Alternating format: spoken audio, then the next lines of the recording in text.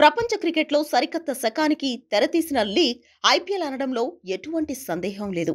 అటు బీసీసీఐకి ఇటు ఆటగాళ్ళకు కాసులతో పాటు ఆటపరంగానూ అంతర్జాతీయ గుర్తింపు తెచ్చిన లీగ్ ఇది. అయితే ఐపీఎల్ ఫ్రాంచైజీలు కొనుగోలు చేసిన యాజమాన్యాలకు ఆదాయం ఎలా వస్తుందన్నది చాలా మందికి డౌట్. బిడ్డింగ్లో కోట్లాది రూపాయలు పెట్టుబడిగా పెట్టే ఫ్రాంచైజ్ ఓనర్లకు ఇన్కమ్ మాత్రం చాలా రూపాల్లో తిరిగి వస్తుంది.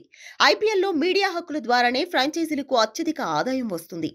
ఐపీఎల్ నిర్వహణలో వచ్చే ఆదాయం మొత్తంలో అరవై నుంచి డెబ్బై శాతం ఆదాయం మీడియా హక్కుల ద్వారానే లభిస్తుంది. ఈసారి బ్రాడ్కాస్టింగ్ రైట్స్తో బీసీసీఐకి నలభై ఎనిమిది వేల మూడు వందల తొంభై పాయింట్ ఐదు రెండు కోట్ల భారీ ఆదాయం సమకూరింది. దీని ప్రకారం ఏడాదిలో బీసీసీఐకి మీడియా హక్కుల ద్వారా సుమారు తొమ్మిది వేల ఆరు వందల డెబ్బై కోట్ల ఆదాయం వస్తుంది. ఈ వచ్చిన ఆదాయంలో యాభై శాతం బీసీసీఐకి వెళ్ళగా నలభై ఐదు శాతం ఫ్రాంచైజీలకు ఐదు శాతం ప్రైజ్ మనీకి అందజేస్తారు.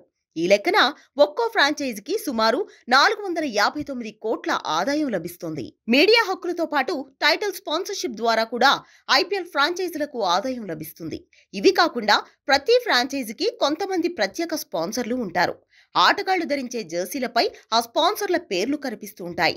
ఇలా తమ కంపెనీలను ప్రమోట్ చేసుకోవడం కోసం స్పాన్సర్లు ఫ్రాంచైజీలతో ఒప్పందం చేసుకుంటాయి.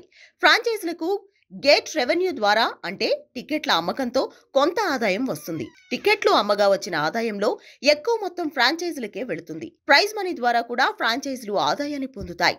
అంతేకాకుండా ఆటగాళ్ళను మార్చుకోవడం తమ బ్రాండ్ టీషర్ట్లు క్యాప్లు ఇతర ఆట వస్తువులను విక్రయించడం ద్వారా ఫ్రాంచైజీలు ఆదాయం ఆర్జిస్తాయి. దీనితో పాటు సోషల్ మీడియాలో ప్రమోషన్స్ ద్వారాను ఫ్రాంచైజీలకు ఇన్కమ్ వస్తుంది. ఎంత బ్రాండ్ వాల్యూ పెరిగితే ఆయా ఫ్రాంచైజీలకు అంత ఆదాయం వస్తుంది.